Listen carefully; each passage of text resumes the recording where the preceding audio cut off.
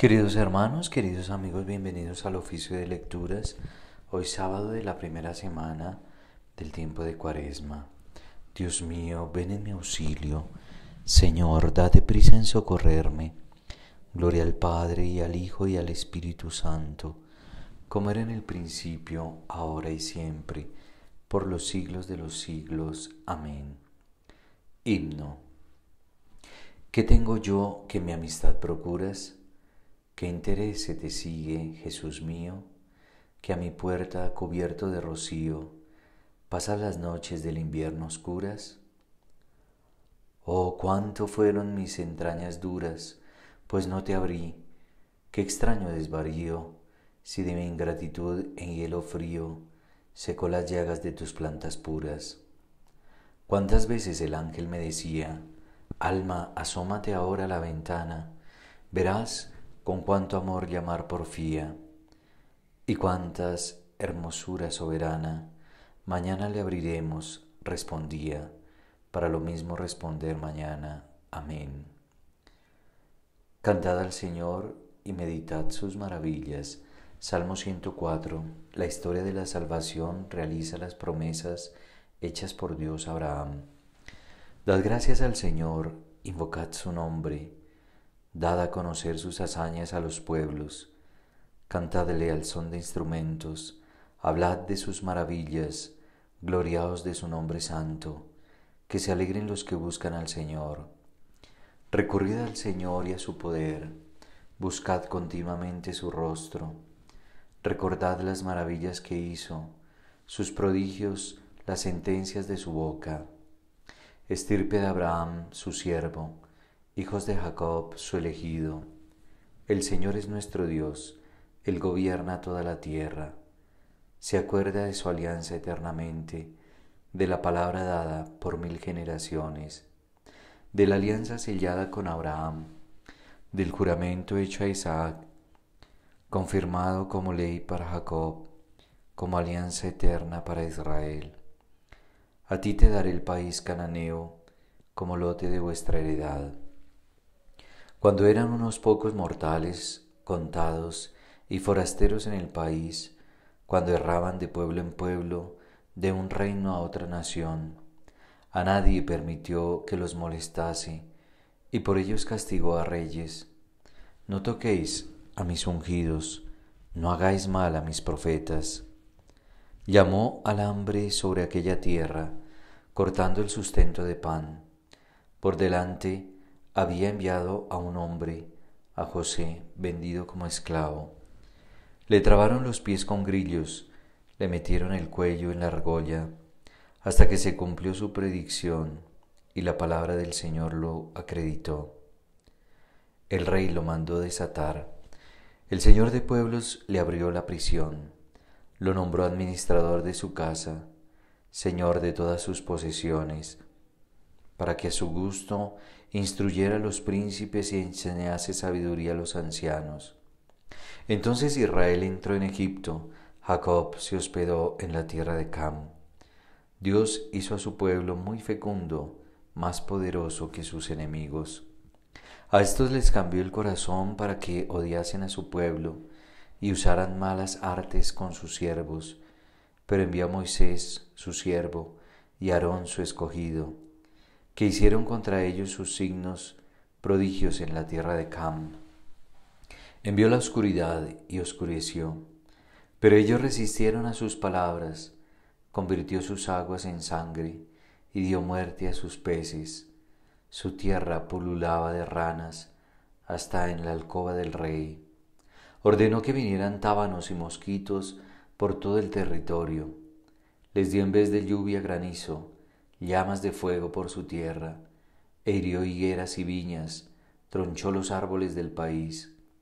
Ordenó que viniera la langosta, saltamontes innumerables, que roían la hierba de su tierra y devoraron los frutos de sus campos. Hirió de muerte a los primogénitos del país, primicias de su virilidad. Sacó a su pueblo cargado de oro y plata, y entre sus tribus nadie se enfermó. Los egipcios se alegraban de su marcha, porque los había sobrecogido el terror. Tendió una nube que los cubriese y un fuego que los alumbrase de noche.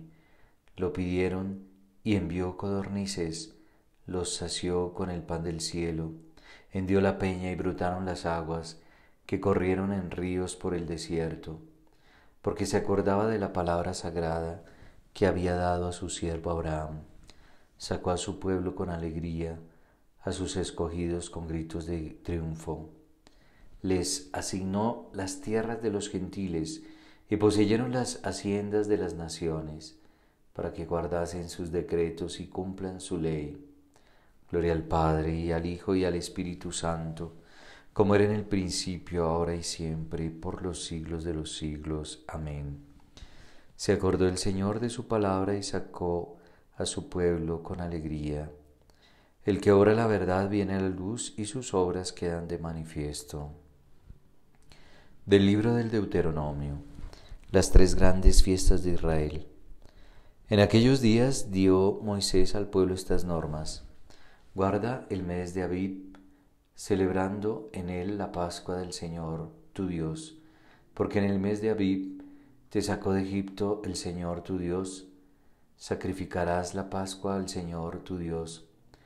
Ovejas o reces en el lugar que el Señor tu Dios elija para sí por morada de su nombre no acompañarás la comida con pan fermentado.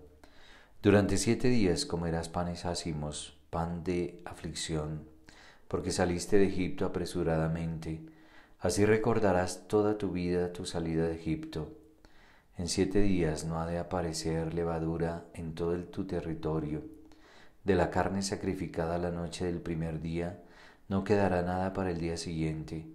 No puedes sacrificar la Pascua en cualquiera de las ciudades que el Señor va a darte, solo en el lugar que elija el Señor por morada de su nombre.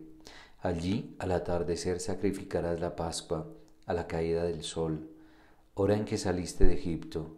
La cocerás y la comerás en el lugar que elija el Señor, y a la mañana siguiente emprenderás el regreso a tu casa. Durante seis días comerás panes ácimos y el séptimo habrá asamblea en honor del Señor tu Dios no harás trabajo alguno. Contarás siete semanas a partir del día en que comiences a meter la hoz en la mies. Entonces celebrarás la fiesta de las semanas en honor del Señor tu Dios. La oferta voluntaria que hagas será en proporción a lo que te haya bendecido el Señor. Te regocijarás en presencia del Señor tu Dios, tú, tu hijo y tu hija, tu esclavo y tu esclava, el levita que viva en la ciudad, el forastero, el huérfano y la viuda, que vivan entre los tuyos en el lugar que elija el Señor tu Dios, por morada de su nombre. Recuerda que fuiste esclavo en Egipto, guarda y cumple todos estos preceptos. La fiesta de los tabernáculos la celebrarás durante siete días, cuando hayas recogido la cosecha de tu era y tu lagar. Te regocijarás en tu fiesta, tú, tu hijo y tu hija, tu esclavo y tu esclava, el levita, el forastero, el huérfano y la viuda, que vivan en tu vecindad. Harás fiesta siete días en honor del Señor tu Dios, en el lugar que elija para sí el Señor, pues el Señor tu Dios te bendecirá en tus cosechas y en todos los trabajos de tus manos, para que seas plenamente feliz. Tres veces al año se presentará todo varón ante el Señor tu Dios, al lugar que él elija, por la fiesta de los ácimos, por la fiesta de las semanas y por la fiesta de los tabernáculos. No se presente al Señor con las manos vacías, cada uno ofrecerá su tributo según la bendición que el Señor le haya otorgado. Te regocijarás en tu fiesta, tú, tu hijo y tu hija, tu esclavo y tu esclava, el levita, el forastero, el huérfano y la viuda. El Señor te bendecirá para que seas plenamente feliz. He ahí, por los montes los pies del mensajero de la buena nueva, el que anuncia la paz. Celebra tus fiestas, Judá. El Señor te bendecirá para que seas plenamente feliz. De la Constitución Pastoral Gaudium et Spes sobre la Iglesia en el mundo actual del Concilio Vaticano II, los interrogantes más profundos del hombre. El mundo moderno Aparece a la vez poderoso y débil, capaz de lo mejor y de lo peor, pues tiene abierto el camino para optar entre la libertad o la esclavitud, entre el progreso o el retraso, entre la fraternidad o el odio. El hombre sabe muy bien que está en su mano el dirigir correctamente las fuerzas que él ha desencadenado y que pueden aplastarlo o salvarlo. Por ello se interroga a sí mismo. En realidad los desequilibrios que fatigan al mundo moderno están conectados con ese otro desequilibrio fundamental que hunde sus raíces en el corazón humano. Son muchos los elementos que se combaten en el propio interior del hombre. A fuer de criatura, el hombre experimenta múltiples limitaciones, se siente sin embargo ilimitado en sus deseos y llamado a una vida superior. Atraído por muchas solicitaciones, tiene que elegir y que renunciar. Más aún, como enfermo y pecador, no es raro que haga lo que no quiere y deje de hacer lo que querría llevar a cabo. Por ello siente en sí mismo la división que tantas y tan graves discordias provoca en la sociedad. Son muchísimos los que, tarados en su vida por el materialismo práctico, no quieren saber nada de la clara percepción de este dramático estado, o bien oprimidos por la miseria no tienen tiempo para ponerse a considerarlo. Muchos piensan hallar su descanso en una interpretación de la realidad propuesta de múltiples maneras. Otros esperan del solo esfuerzo humano la verdadera y plena liberación de la humanidad y abrigan el convencimiento de que el futuro reino del hombre sobre la tierra saciará plenamente todos sus deseos. Y no faltan, por otra parte, quienes, desesperando de poder dar a la vida un sentido exacto, alaban la audacia de quienes piensan que la existencia carece de toda significación propia y se esfuerzan por darle un sentido puramente subjetivo. Sin embargo, ante la actual evolución del mundo, son cada día más numerosos los que planean o los que acometen con, nuevas, con nueva penetración las cuestiones más fundamentales. ¿Qué es el hombre? ¿Cuál es el sentido del dolor, del mal, de la muerte, que a pesar de tantos progresos hechos subsisten todavía? ¿Qué valor tienen las victorias logradas a tan caro precio? ¿Qué puede dar el hombre a la sociedad? ¿Qué puede esperar de ella? ¿Qué hay después de esta vida temporal? ¿Cree la Iglesia que Cristo, muerto y resucitado por todos, da al hombre su luz y su fuerza por el Espíritu Santo, a fin de que pueda responder a su máxima vocación y que no ha sido dado bajo el cielo a la humanidad otro nombre en el que haya de encontrar la salvación? Igualmente cree que la clave, el centro y el fin de toda la historia humana se hallan en su Señor y Maestro. Afirma además la Iglesia que bajo la superficie de lo cambiante hay muchas cosas permanentes que tienen su último fundamento en Cristo, quien existe ayer, hoy y para siempre. ¿Dónde está muerte tu victoria? ¿Dónde está muerte tu aguijón? El aguijón de la muerte es el pecado. Demos gracias a Dios que nos da la victoria por nuestro Señor Jesucristo. Bueno es el Señor para que él, para el que espera en él, para el alma que lo busca. Demos gracias a Dios que nos da la victoria por nuestro Señor Jesucristo. Padre eterno, convierte hacia ti nuestro corazón, para que viviendo consagrados a tu servicio te busquemos siempre a ti, que eres lo único necesario, y practiquemos la caridad en todas nuestras acciones por nuestro Señor Jesucristo, tu Hijo, que vive y reina contigo en la unidad del Espíritu Santo y es Dios por los siglos de los siglos.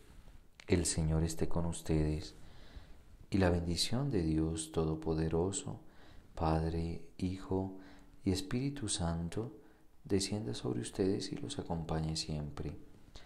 Queridos hermanos, queridos amigos, que tengan una feliz noche llena de la presencia del Señor en compañía de sus familiares, amigos, seres queridos. Dios les bendice.